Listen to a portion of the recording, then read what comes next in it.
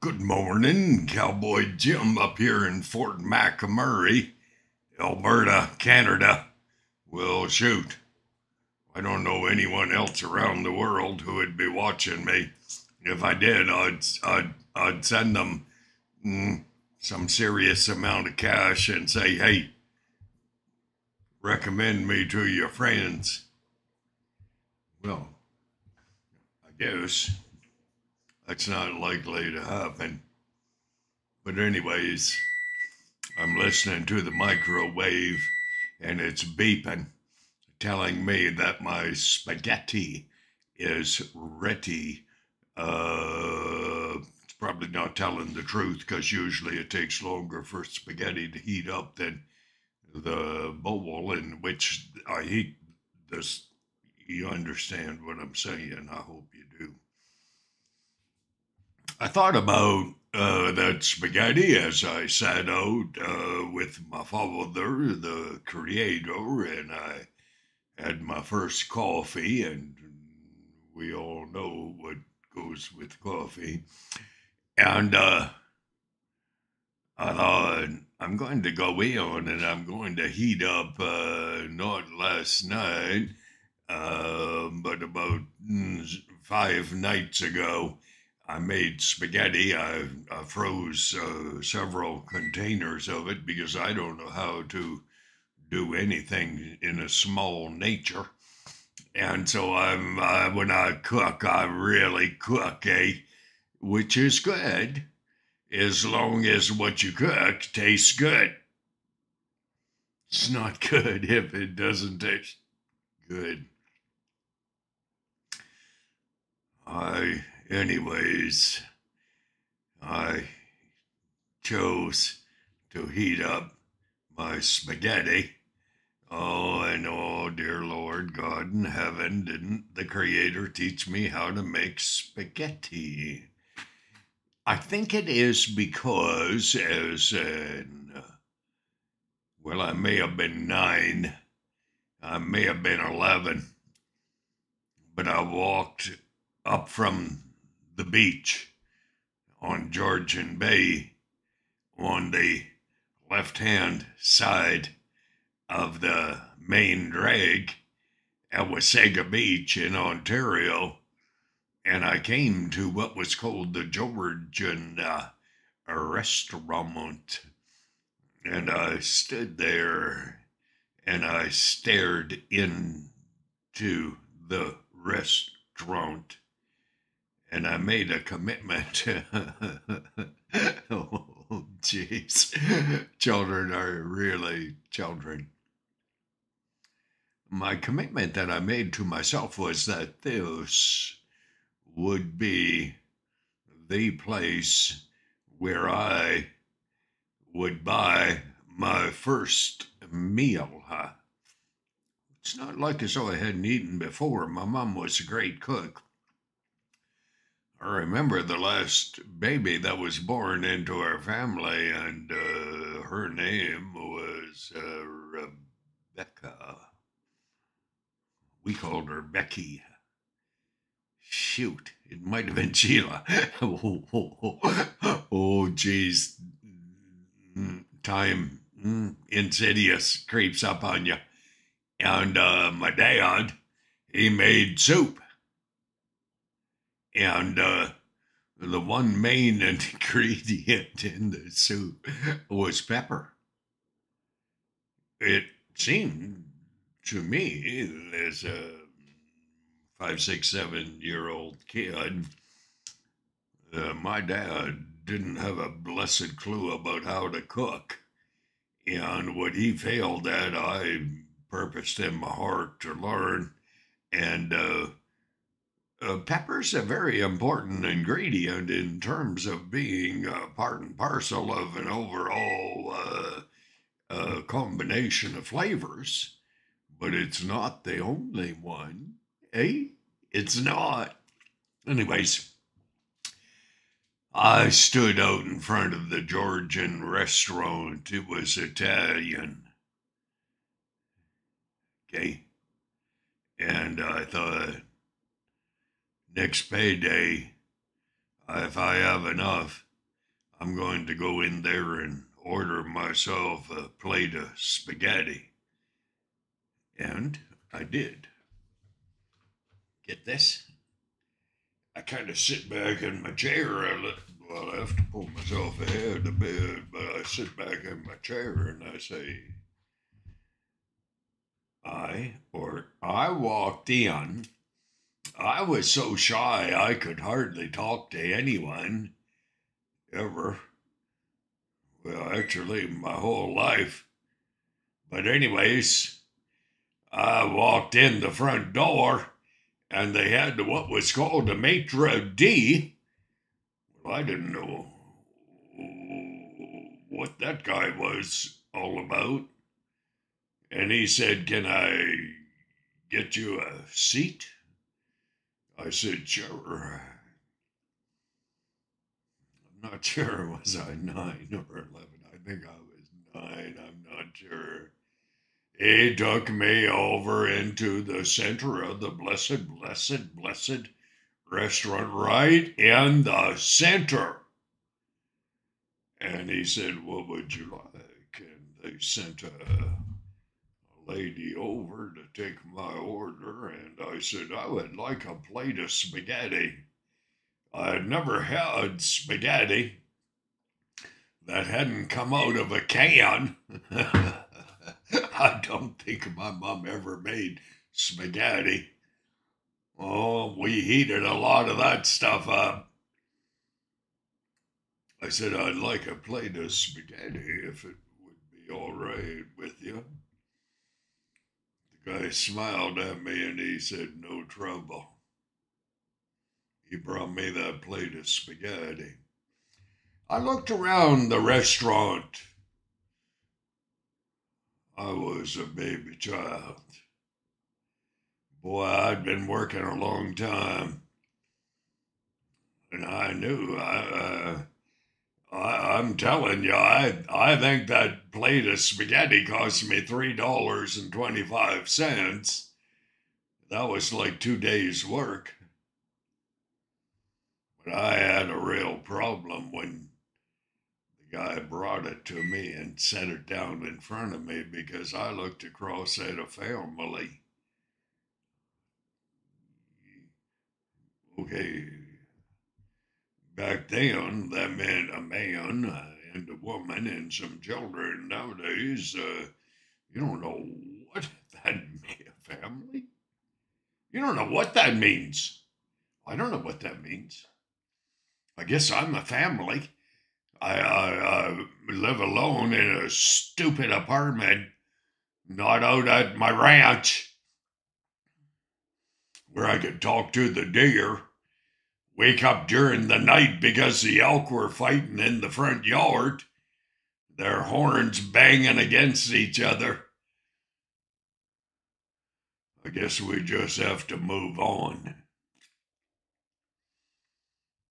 I don't like moving. Anyways, I watched a family across from me and they had uh, spaghetti in front of them. And I, I watched, I studied, I looked at my spaghetti and the plate on the plate in front of me.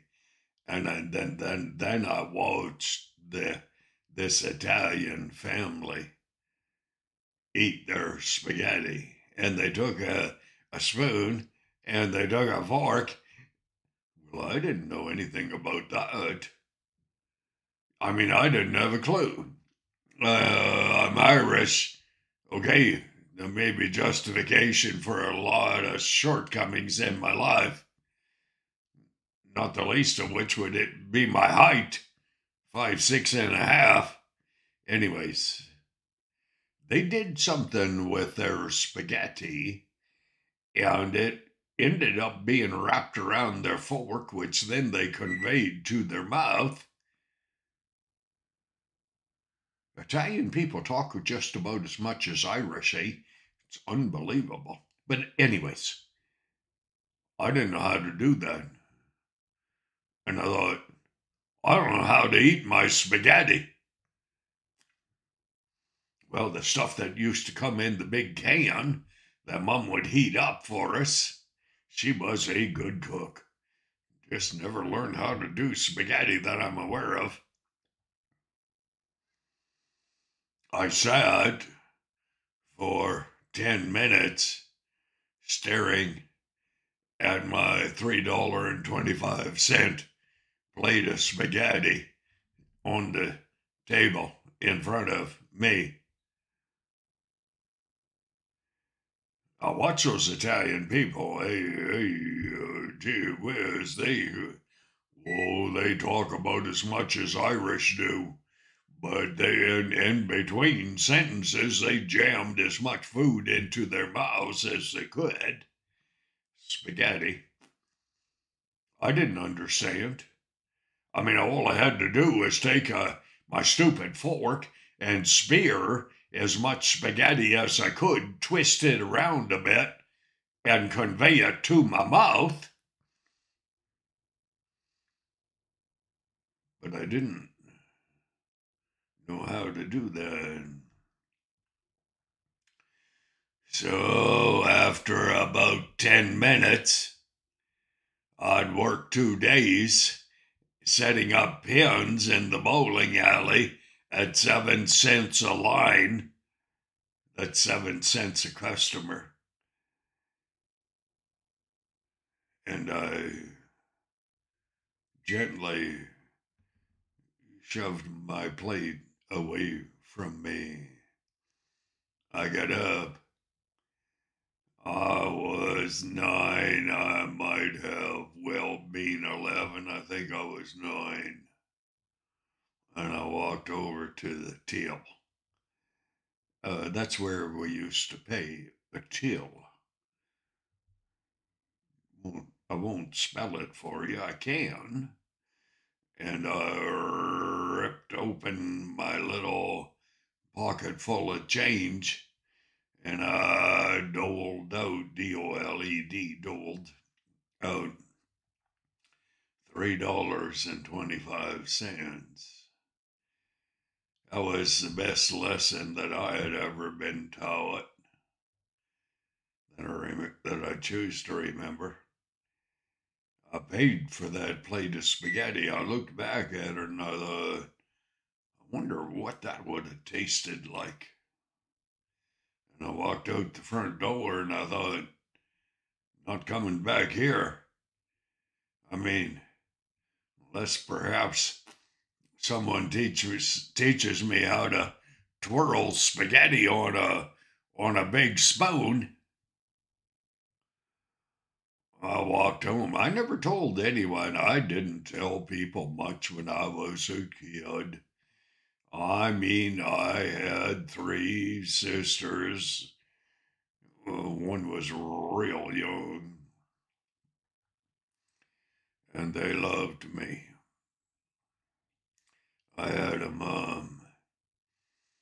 She not only loved me, she told me that she loved me. I had her dad, he didn't tell me much.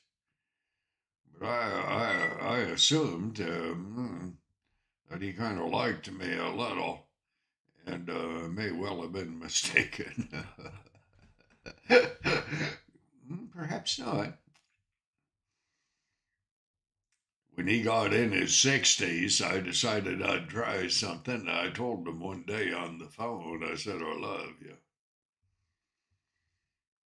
Well, that took him quite a long time to get over that. Well, I was probably lying at the time, but eventually it's kind of like forgiving somebody that you really don't want to forgive who really doesn't deserve being forgiven and you say hey god i choose to forgive that person. Oh perhaps one day it happen that you actually wake up and you say oh my goodness i I forgave that person. Well, I shouldn't be quite as upset with them as I am. But, anyways, the Georgian restaurant on the main street of Wasaga Beach. I learned hey, don't buy food that you can't afford that you probably won't be able to eat. But I had a wonderful childhood. Oh, time to time, I remember.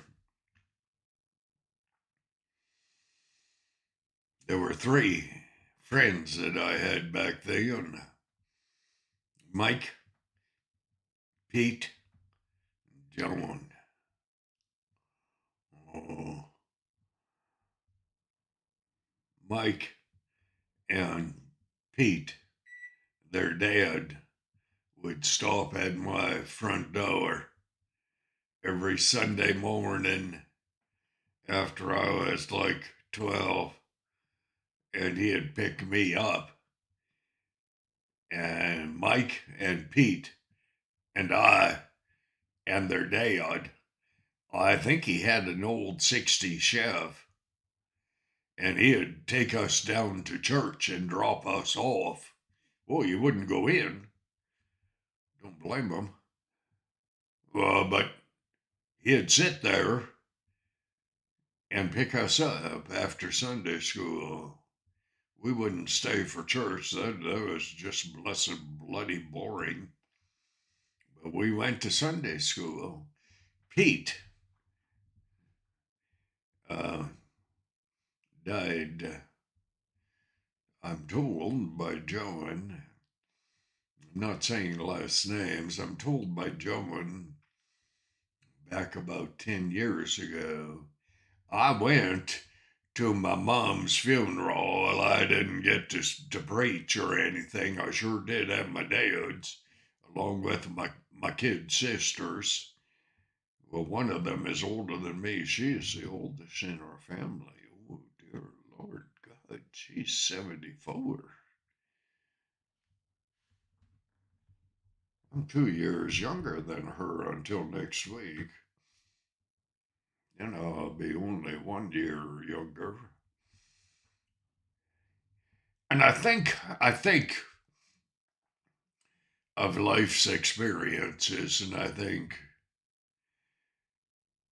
Peter, he, uh, he was a good shot with a 22. Oh, dear Lord God in heaven, that child could shoot. Mike, he was the younger brother to all. Pete was my height. John, he uh, became a plumber. He was across the road from where I grew up. Every day after school, because none of us liked school. Perhaps John did. I'm, I don't, I don't think so. Anyways, we'd walk down to the local dump and we would shoot the ever loving blazes out of the rats that were running around by our feet. We had rats back in Ontario. They weren't liberals, but well, we had a few of those too. Anyways, so thank you. Oh, just an old memory from an old guy I still feel like a stud colt getting ready to entertain his first mare, but I'm telling you, I'm 73 next week. Who blessed bloody knew that age would creep up on you like that? Come right out of the blue. Little girl said to me, she said, You're not young. I thought, you gotta be kidding. I spent my whole blessed life being young. Well, she said, You're not there now. I thought, Whoa. I had no idea. Okay, God bless. This is almost 20 minutes. Hey, please uh, accept my uh, apology for uh, uh doing a video that has uh, absolutely no content. None. Not a blessed bloody thing did I say today. That may be the title. Okay, God bless. If I can remember some other stupid stories about nothing, I may do them. Okay, God bless. I'm not kidding.